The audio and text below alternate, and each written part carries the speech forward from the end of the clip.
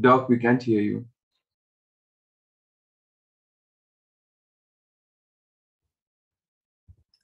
Can you see my slides? Yes, doctor.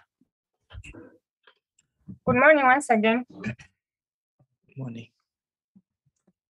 So today we're going to look at the painful red eye. Uh, my name is Dr. Njambi. Uh, and this lecture is actually a revision of all the topics you've covered that cause a painful red eye. Uh, so uh, it will just be a summary of the common causes of uh, painful red eye. Uh, if you need more details, you can refer to the specific topics that you are taught. If you have any queries, you can uh, put them put them in the chat. We'll look at them at the end. So we hope by the end of the session, you'll have uh, be able to develop a differential diagnosis of a red eye and be able to differentiate between uh, the serious and benign conditions and know when to refer if there's a serious case.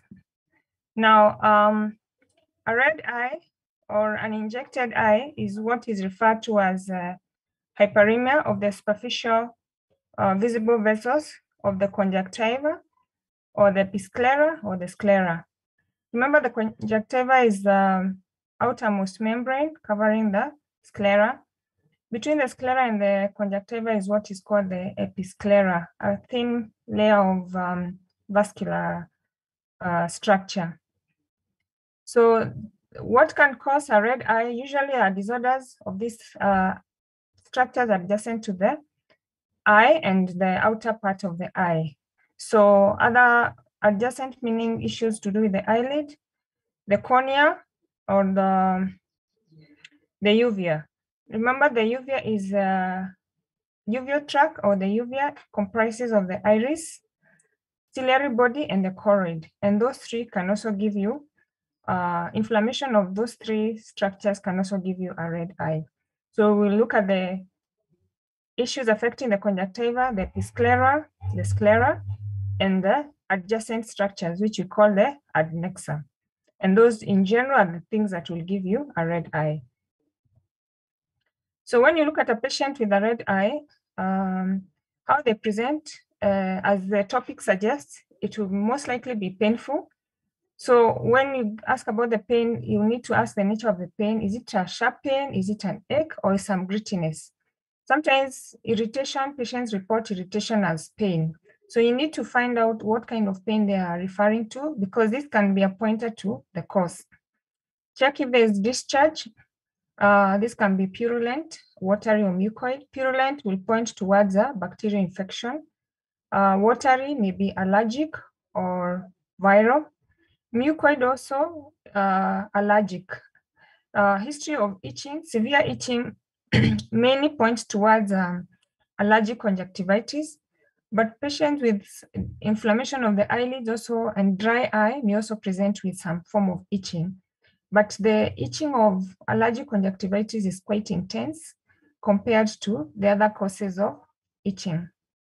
Photophobia or sensitivity to light. This is due to the inflammation of the tissues. Find out whether there's any visual disturbance and if it is present, whether it's constant or variable. Uh, other relevant histories, history of contact lenses, use of glasses, or uh, being on treatment for or symptoms of refractive error. So when you go to systemic review, uh, you want to find out the any associated uh, systemic uh, symptoms like headache. Sometimes when uh, patients have allergy, they may complain of some dull headache, the frontal headache. Also, refractive error can give you some uh, frontal headache. Abdominal pain and vomiting, these occur especially if you have acute rise in uh, intraocular pressure in what we call angle closure glaucoma. Uh, weight loss and joint pains can occur in things like um, rheumatoid arthritis or what we call uh, connective tissue disorders, which can give you either scleritis or uveitis, and this will present with a red eye. So you need to find out whether a patient has any other systemic uh, complaints. Past ocular history, history of recurrent iritis. Iritis is inflammation of the iris, part of the uvea. It can either be iritis or uveitis. Uh, previous corneal injury uh, or previous uh, corneal erosions or pain, uh, recurrent corneal ulcers. This can be either due to trauma or sometimes patients have inherent weakness in the cornea and they keep getting recurrent corneal erosions, which can actually be very painful in, associated with a red eye. Autoimmune diseases in the past medical history, uh, especially the HLA-B27, the juvenile idiopathic arthritis, uh, because of the association with uveitis, bleeding disorders, because if a patient has a bleeding disorder, they could bleed onto the eye and it will present as a bleeding, as a red eye uh, atopy because of history of allergy. So family history again, allergy and um, atopy. This will point towards allergic conjunctivitis and also um, having the same in the family history. Could, you could either have this in the family history or just in the past medical history, depending on how the patient presents. Uh, drugs such as warfarin, you know, and other drugs that can cause uh, bleeding. Uh, social history, occupation may matter, like in construction and some um, occupational hazards, which may uh, have chemicals or particles entering the eye and injuring the eye or causing constant irritation. Infectious uh, contacts with uh, microbes or even animals, because animals can cause something like allergic uh, response. Also, things like cats and dogs can give you toxocariasis, uh, which can give you uh, uveitis and present with uh, a red eye. So when you examine the patient, uh, what do you look for? You look at the conjunctiva, a red inflamed conjunctiva, we call it injected. So you'll find uh, in the examination note, we either write the conjunctiva is injected or not injected, meaning either it's hyperemic or uh, it is looking red or not. Cornea, when you look at the cornea, look at the deposit, uh, haziness, is there a surface defect? Are there a foreign body or any disturbances on the ocular surface in terms of the smoothness and the uh, clarity? Anterior chamber, uh, look at uh, the haziness, the, is it shallow or is it of the right uh, depth? Is there a hypopyon? Hypopyon is a pus in the anterior chamber that will point towards an infection. Is there a hyphema?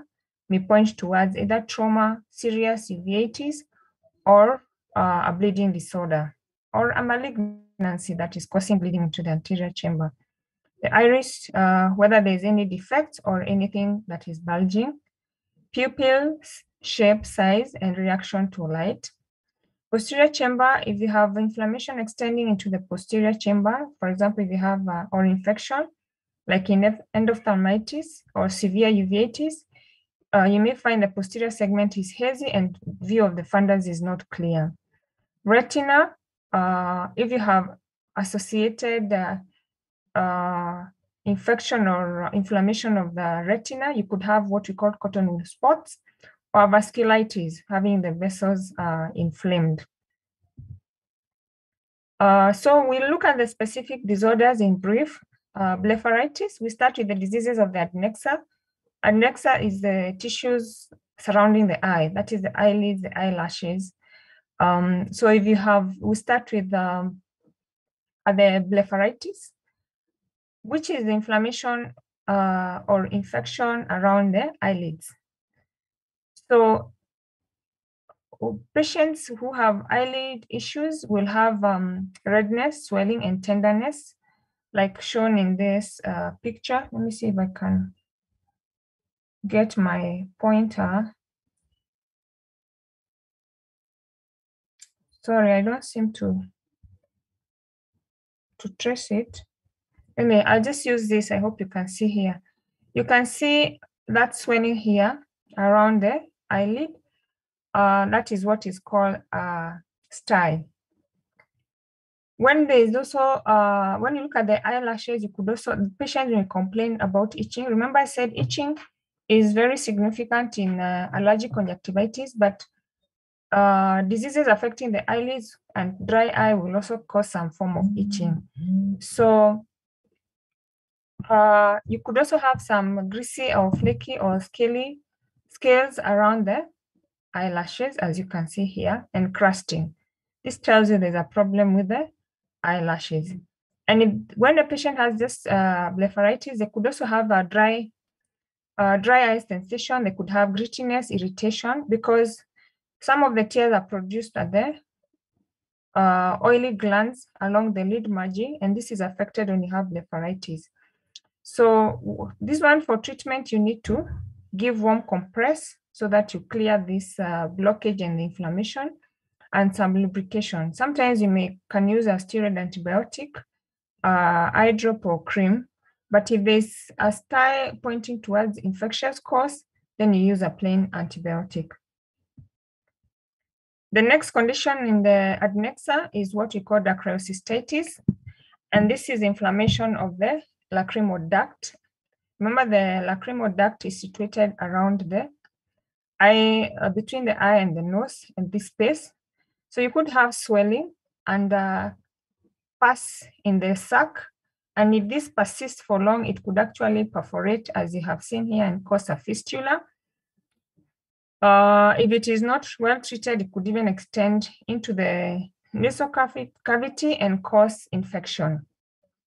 So for this, you need to do also massage, give antibiotics, and you may need surgical intervention. Another condition uh, on the adnexa is what we call a stye, like I shown had shown you before in the previous uh, slide. A stye is just an infectious swelling around the eyelid, sorry, which may look like a pimple, and sometimes it may burst and give uh, and you find pus coming out.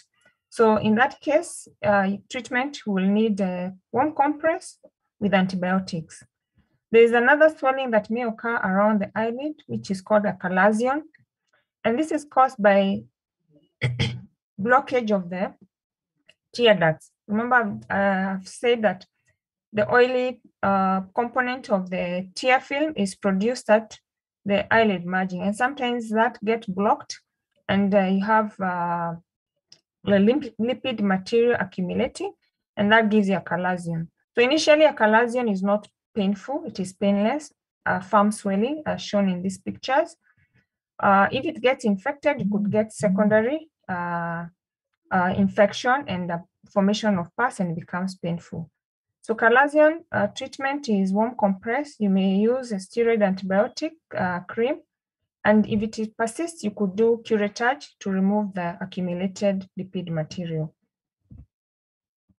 The other swelling on the eyelids is um, what we call uh, periorbital cellulitis. Um,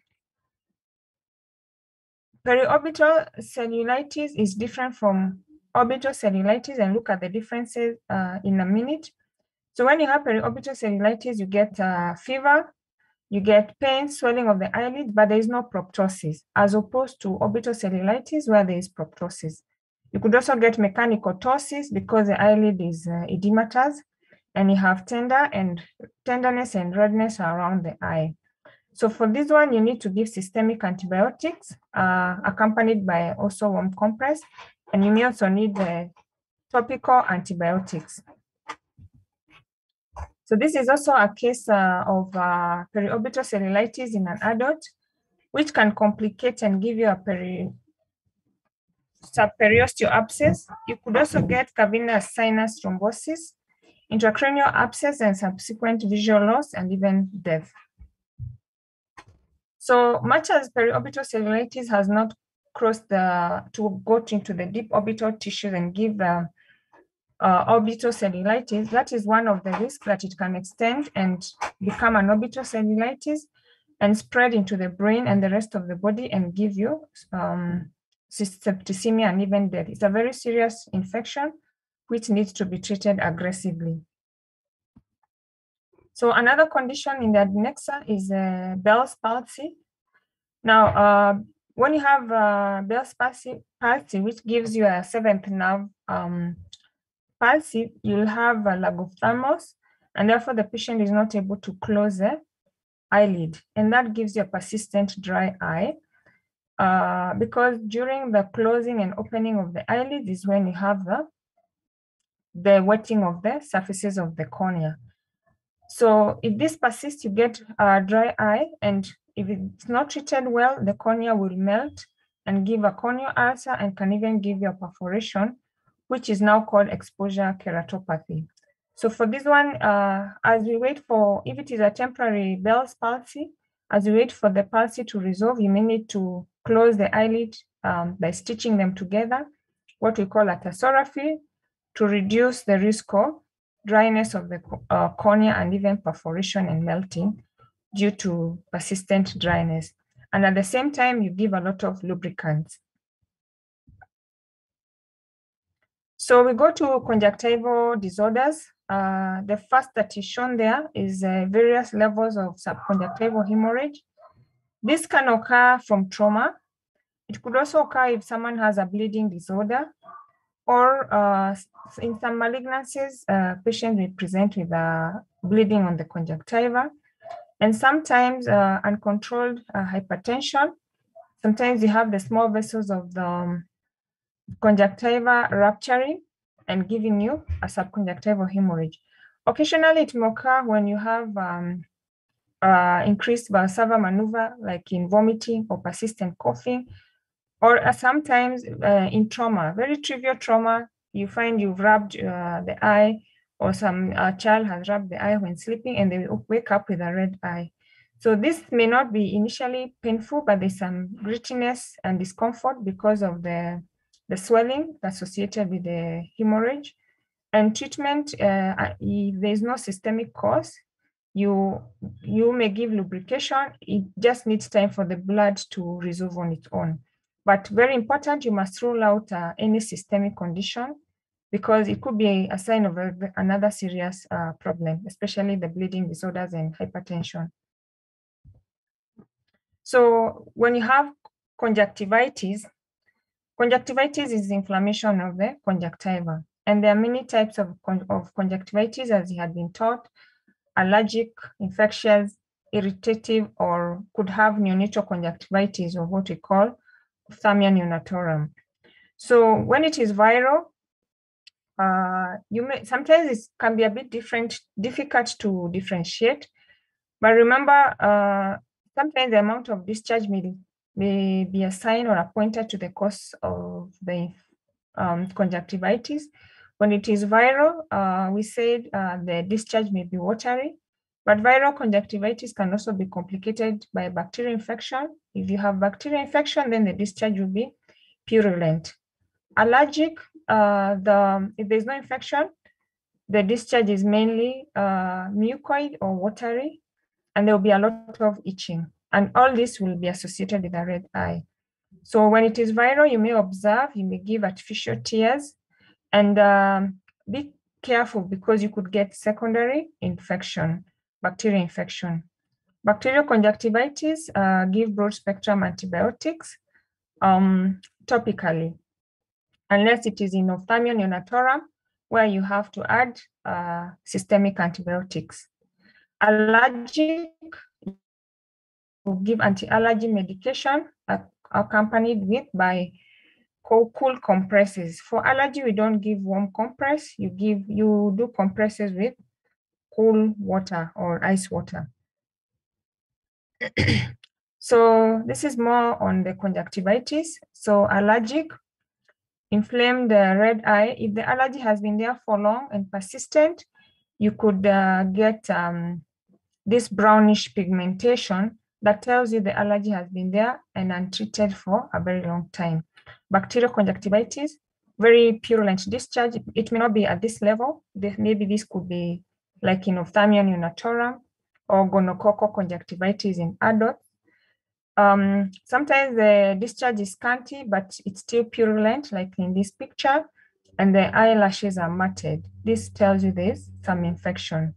Viral conjunctivitis, especially the commonest cause, which is uh, adenovirus, gives you a very red eye, which may mimic um, subconjunctival hemorrhage. This eye is so red.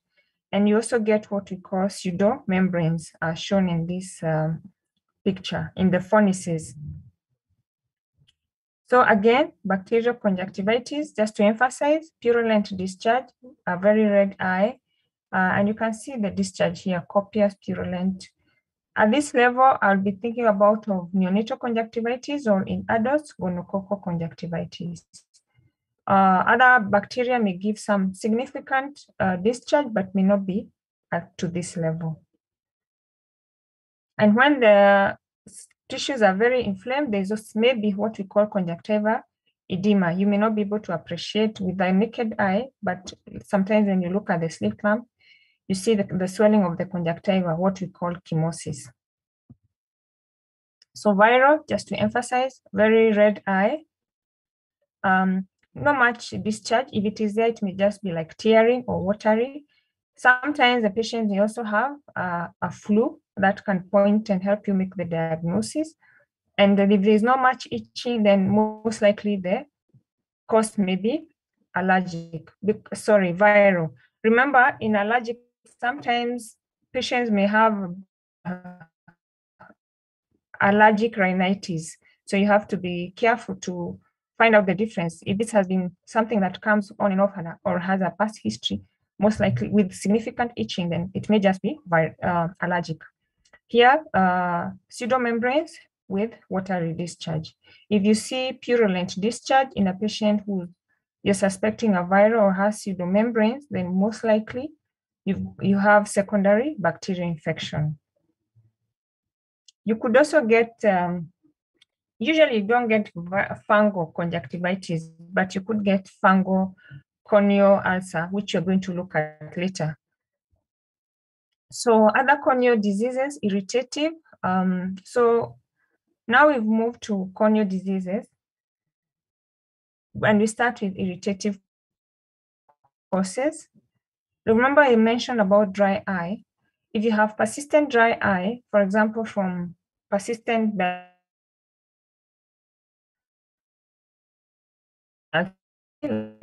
so or computer use screens, or if they have underlying inflammation of the conjunctiva, like in chronic uh, allergic conjunctivitis, then they have associated uh, persistent uh, dry eye. And this will give you, if the cornea is not well, um, is not lubricated well, you get this punctate staining or this spots on the cornea, small, small erosions on the cornea because of the persistent dryness. And when you put fluorescein, then you get stain. Can you still hear me? Yes, doctor, we can hear you. Okay, because my internet it's saying is unstable. I hope if you don't hear me, please just call me. Okay, doctor. Yeah, so I hope you are together up to there. Yes, we have been together. Okay. So going on to corneal diseases. So we just looked at dry eye, persistent dry eye. Another cause in the cornea will be a foreign body, which will be irritating in the first place and we'll also give you a dry, foreign body sensation. If you examine, you may be able to pick the foreign body, like you can see in this picture. You have this metallic uh, foreign body on the cornea. So this needs to be removed and the patient treated with antibiotic uh, eye drops to prevent infection and to promote healing. So infections on the cornea, so corneal ulcers. So as I mentioned uh, just a few minutes ago, on the cornea, you may have fungal infection. Remember in the conjunctiva, we are not mentioning the fungus so much, mainly it affects the cornea. You could get a bacterial infection Still, again, uh, you'll get, when you have bacteria, remember you get purulent discharge. Viral, watery discharge, unless there's secondary bacterial infection. Uh, fungus, the discharge may be between the bacteria and viral, a bit of mucoid and a bit of purulent, but not watery. Uh, when you have viral uh, infection on the cornea, The commonest virus is the herpes simplex virus. Others may affect the cornea, but this is the commonest. So a cornea ulcer, you need to stain to be able to appreciate it well. Um, here you can get, you find a very, this is like a fungal corneal ulcer, very deep with some infiltrates on the periphery and a hazy cornea in general. This is a viral, sorry, viral ulcer, the dendritic pattern. And this is a, a bacterial uh, ulcer. It could also go for fungal. You can see it has this feathery uh, margins, uh, infiltrates extending to the normal cornea. When it is purely bacteria, you get a very well demarcated um, ulcer.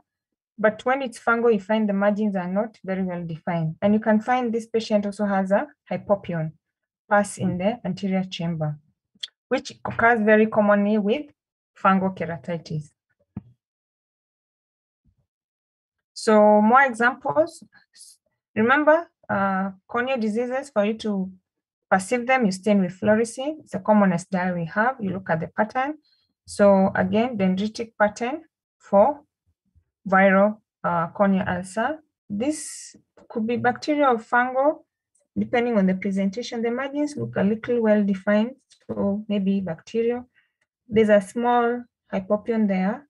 Remember, both bacterial or fungal can give you hypopyon, but it is more common in fungal keratitis or corneal ulcers. Same here, you can see some staining here. This is what we call punctate staining. Just looks like small, small dots which can occur in a severe dry eye when the cornea is very dry. This is a, we call it a geographical ulcer when uh, especially viral ulcers are not treated well, they just extend and involve a very large portion of the cornea, and this we call geographical ulcers. So moving on to the other cause of the red eye. So we go to the uvea system, uh, uveitis. As we said, uveitis, inflammation of the uvea. We say the uveal tract is the iris, ciliary body, and the choroid. So patients with uveitis get uh, have very severe pain, which is acute, with very significant um, photophobia, and the pain is also significant. They may have blurring of vision because of um, when you have inflammation of the uveal tract, you get leakage of proteins into the anterior chamber, and it makes it it makes the aqueous cloudy, and that blurs the vision. There's also a lot of uh, lacrimation because of the photophobia and the sensitivity of the cornea. Then you get, sometimes it is characteristic, sometimes it is not very characteristic, this circumcorneal redness.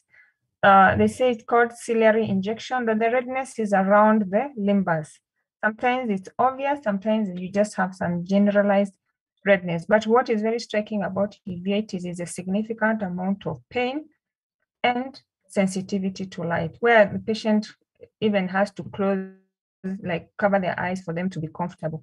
When you see someone like that, unless the other differential could just be a foreign body, but such significant photosensitivity of very sudden onset may point towards uveitis. And the pupil may be small, but later they become irregular, as we will see in the next slides. So because of the inflammation, you remember we said uh, they will have proteins leaking through the, uh, because of the inflammation of the uveal tracts into the uh, anterior chamber in the aqueous and part of the, the proteins that leak, they'll settle on the cornea and give you these deposits on the inferior part of the cornea, which may be whitish or brownish. And to start, they are brownish, then later they become whitish. They are called keratic precipitate. This is very characteristic of uveitis. You see this on the cornea and you know the patient has uveitis. Because of the prolonged uh, inflammation and the leakage of proteins, you find the iris uh, sticking onto the lens, giving you what we call posterior synechia. So this attachment of the iris into the uh, lens is called posterior synechia. Persistent inflammation will also give you a cataract.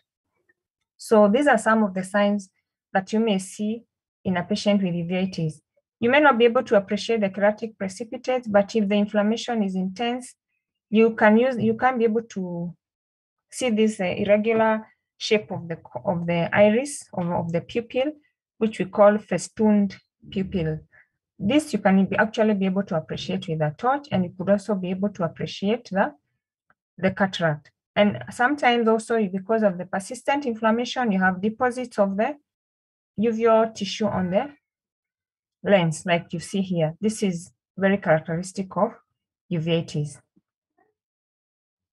So depending on the cause, you need to treat the cause. Some uveitis idiopathic.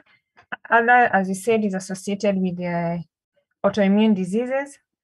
Others is uh, due to infections like uh, torches, um, CMV, viruses. So there are many causes. So you may need to investigate and see how to treat the patient accordingly. But for the specific treatment of uveitis, you need a lot of steroids to slow down this inflammation and reverse this, uh, uh, these features before complications arise. So we move on to the another cause of uh, painful um, red eye. And here in terms of glaucoma, we just look at uh, angle closure glaucoma. Remember, primary open angle glaucoma may not be painful because the angle is not closed. The pressure is very high. Unless the pressure is extremely high, the primary open angle glaucoma may not be painful. But angle closure glaucoma usually occurs very suddenly and you have sudden rise in the in the pressures in the eye and may be associated with headache, vomiting. So this is an emergency that needs to be treated uh, very fast to bring down the, the, the pressures and make the patient comfortable.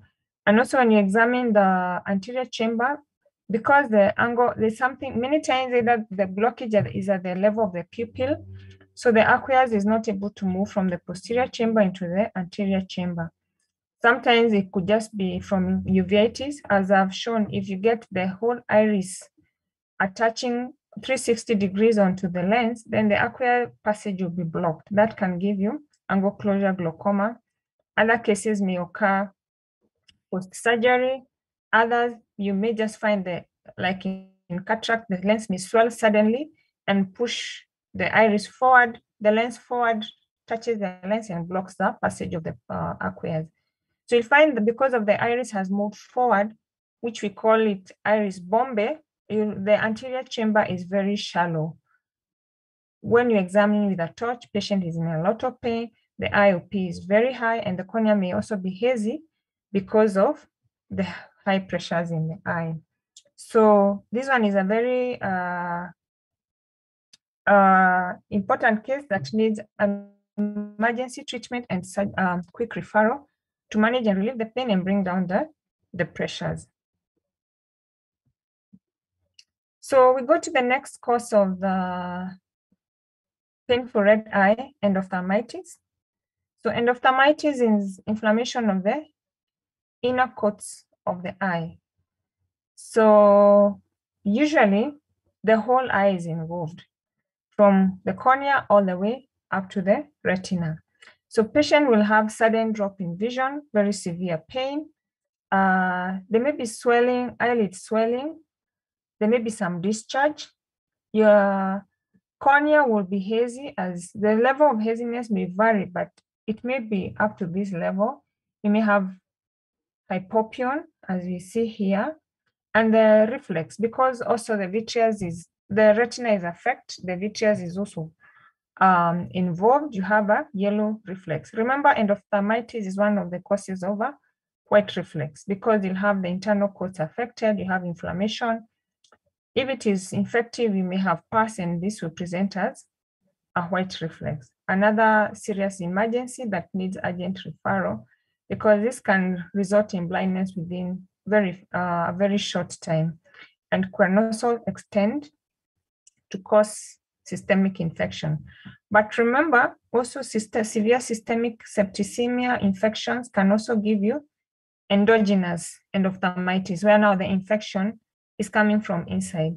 So you could have infections starting in the eye, starting from trauma, post-surgery, but you could also have infection in very sick children, especially children and uh, some maybe very sick patients in ICU they could also present with end, um, endophthalmitis because of the severe uh, septicemia and the weak uh, immune system. So moving on to trauma. So trauma can cause any of the things that we've been talking about from uh, conjunctivitis, could get a traumatic conjunctivitis, foreign body, corneal ulcer, subconjunctival hemorrhage. It can give you an uveitis. Um, when sometimes uh, when it's post-traumatic, you could even get a hyphema. This is blood in the anterior chamber, which we call hyphema.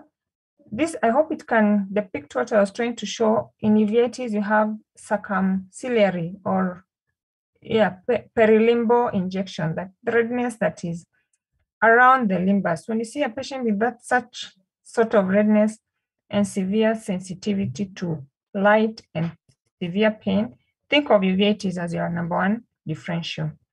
Uh, you could get also post-traumatic uh, uveitis with cataracts as shown in this case. So depending on the cause, patient may present with similar findings, but the cause may be different. And that one you are able to elicit from the history. So um, this is a table to just summarize what we've been talking about.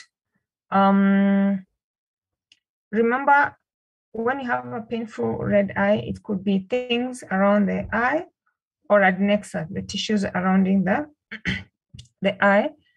Uh, and depending on uh, the cause, you will find that uh, you could get infectious causes, uveitis, corneal ulcer, angle closure, endophthalmitis, and um, trauma. This is something about scleritis and episcleritis. I, I'll go through this. I think, uh, let me just see whether it's in this slide. Allow me to remove this screen and bring share something else because there's a slide missing about the scleritis and episcleritis. Is that okay? Two minutes. No problem, doctor. Meanwhile, if you have any question, you could, um, if you have any question, you can ask.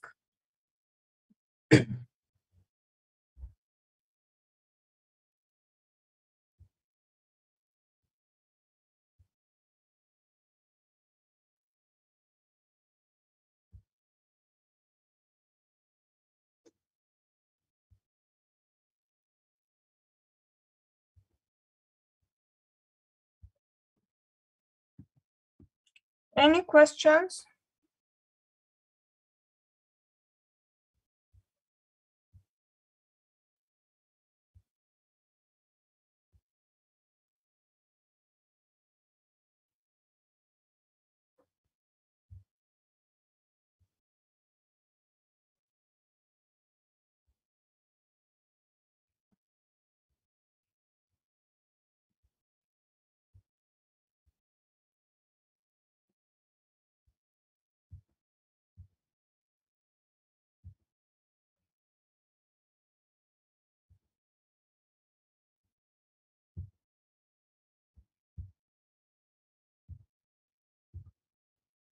Can you see that? Yes, doctor.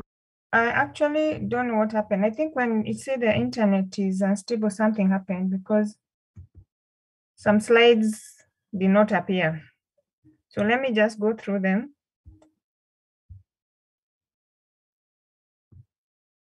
So we start with the episcleritis. Remember I mentioned about the episclera I want to remove this.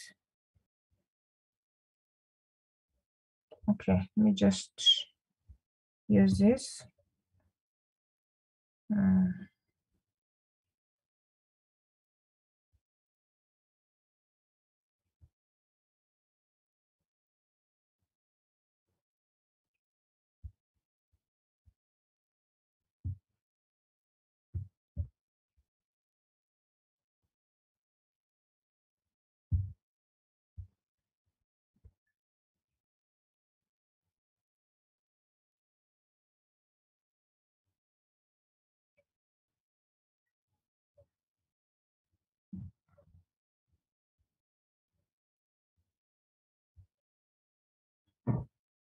You're able to see that one?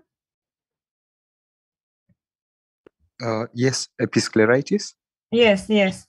So Yes, I think the net skipped my some of my slides. I'm sorry about that.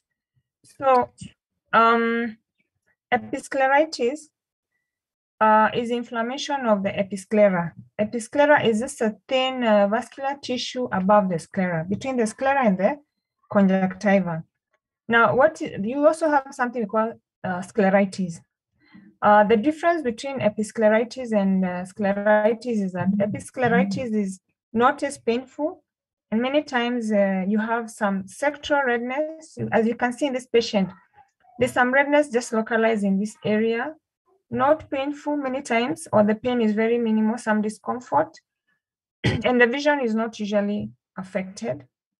It may be unilateral and bilateral, and it has its habit of having recurrency. You may have a patient get an attack, then after a year or two or some months, they get another attack.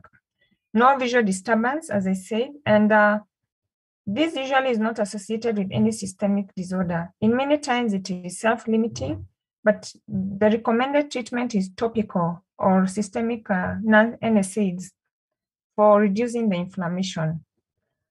So even if the patient doesn't get treatment, it will somehow resolve, but it's likely to recur. As opposed to scleritis, where the patient will have a painful eye, painful red eye. I think my net is letting me down, but you're almost done. So before we go to scleritis, as I was showing, you can have, you see this sectoral, just some localized redness. And at times you can have um, a nodule, a small nodule associated with it. Now, there's a test we do in the clinic, but uh, you may not be able to do it all the time. If you put epinephrine on this redness, it improves if it is episcleritis, topical epinephrine. But what it also does, it dilates the pupil. So patients are not very happy because their vision gets blurry after visiting the doctor. But that is one of the differentiating signs between episcleritis and scleritis.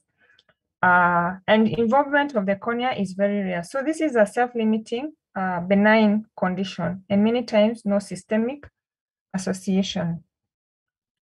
Now, scler- scleritis is inflammation of the sclera, and this presents with severe pain and photophobia. You could have the cornea involved, as you see in this patient. Many times it is associated with systemic autoimmune diseases like uh, SLE, rheumatoid arthritis.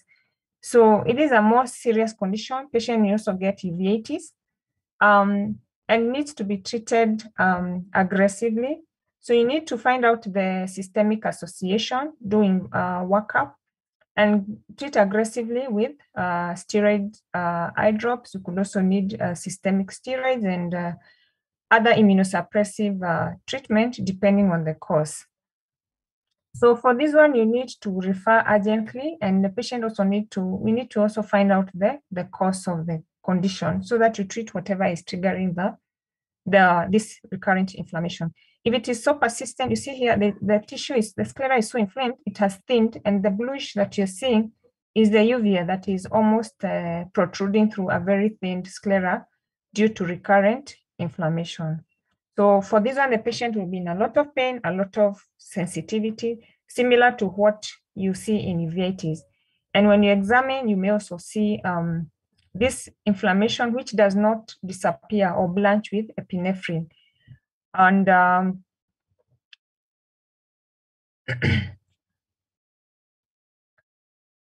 let me let me go back. It doesn't uh, disappear with epinephrine, and the patient may also have systemic conditions. So that's why systemic history is very important, so that you're able to elicit whether this is uh, just a purely eye problem or there is something else that is underlying.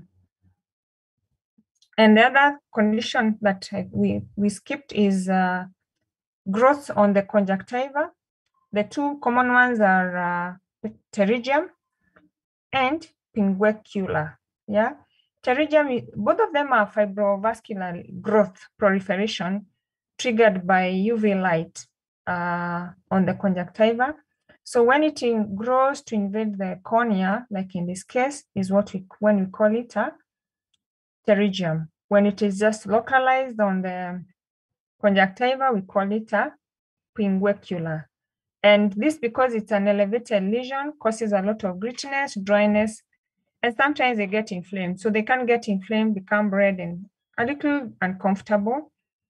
They, just because it's an elevated surface, it will give the give you dry eye and irritation and redness. So those are the two mechanisms it can cause uh, discomfort on the eye and redness. If this grows and reaches the, the visual axis, it will give you blurring of vision. It would also give you blurring because of astigmatism and pulling on the cornea. So I think those are the two slides that we missed. With that, I come to the end of the lecture unless there's any question, any concern. So this is where we were. And this is just a summary of the many courses we've been talking about. Any question? Yes, So thank you, Dr. Njambi. There's Yes. just some questions in the chat box. There are some questions, so let me stop sharing. Actually, it's just one. Okay. What causes episcleritis? Uh, usually it's those idiopathic things.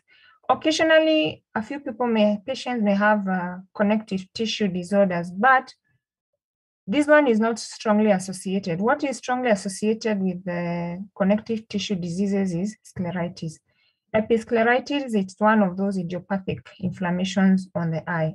Same as uveitis. Remember, majority of the patients with uveitis, it will be idiopathic, yeah? But a few will have also have systemic diseases. I hope that is clear. So it's only when you examine that you're able to, to tell the difference and when you take a detailed history. Is there a treatment to reverse the brown discoloration from untreated conjunctivitis? Uh, not directly, but when you treat and uh, control the allergic conjunctivitis, the brown, the brownish discoloration tends to improve. That brownish just tells you that this inflammation is uh, uh, ongoing. Sometimes it's low grade, you don't see it, and the patient may not even be rubbing their eyes. But when you see the eyes looking brownish, tells you there's some low grade inflammation. So you control the allergy, and that way it helps to control the, the brownish pigmentation. So if it's been there for a very long time, it may not be go back to the you know nice white eyes, but it will be better, much better than than they were. And actually they improve significantly. They may not be crystal white, but they improve significantly. Uh, there's some somebody asking, is that a beauty spot? I'm not sure which one. Which is a beauty spot? Gideon.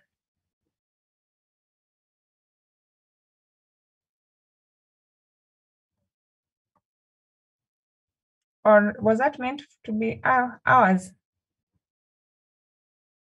As Gideon tries to clarify, any other concern? Uh, Doctor, I don't know if you had answered the question about uh, on Nanyama.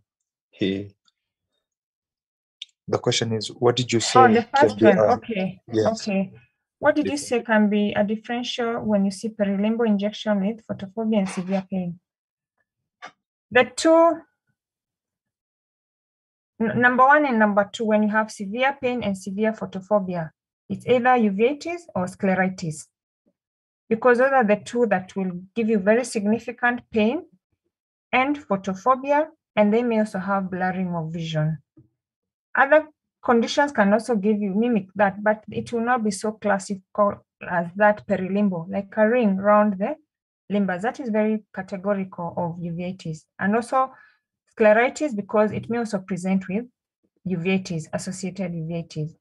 When you have scleritis, you find that the deep vessels are very engorged and the eye is very red. The patient is in a lot of discomfort. Okay, I hope that is clear. Uh, what we're still waiting about the beauty spot, but as we wait, how would you differentiate the grittiness and foreign body sensation? It's mainly the same. Sometimes uh, patient will tell you they feel rough, they feel like sand, they feel like there's a foreign body. All that it's it's the same at the same level as opposed to where they tell you there's pain. So when patient says they have pain, you need to find out. Sometimes they say they have pain.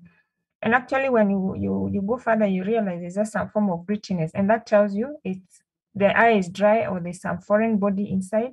Some will tell you directly they feel like they have a foreign body in the eye. Uh, when you put adrenaline drops, how long will the blurriness last? That um, will it lasts about uh, six hours because that's the duration of action. So I hope that's clear. Is there a need for I&D in stye? Uh, initially, we start with antibiotic uh, treatment, systemic and topical. You have to give systemic. You don't have to like start with I&D as primary treatment. You can start with antibiotics. Sometimes it bursts on its own. If it does, then you can squeeze in whatever is remaining. If you if it's persistent despite the antibiotic treatment, you may drain it. But the first treatment, unless it's pointing and you can see there's somewhere it's just about to burst, we usually start with antibiotics, systemic and topical. Give it time. If it doesn't resolve or it's threatening to burst, then you can, or it doesn't, uh, yeah, it doesn't resolve or it's threatening to burst, then you can do I&D and combine it with the antibiotics.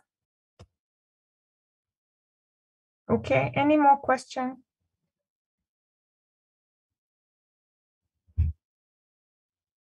Recording stopped. If there's no other question, I hope that was useful. Is it the last lecture? No, doctor, we have one uh, next week. About uh, vision and something. I think so. But we had missed a few classes. Ah, so we okay. need to make up. All right. Okay, then. Then if uh, you're good and happy, we can end the class. Yes, thank you so much for your time this morning, Dr. Njambi. You're welcome, and thank you for your good attendance. Have a nice day. You too, doctor. So how do you sign? Well, this is recorded and we use that as uh, evidence. Yes, yes. All right. Okay, then. Good day.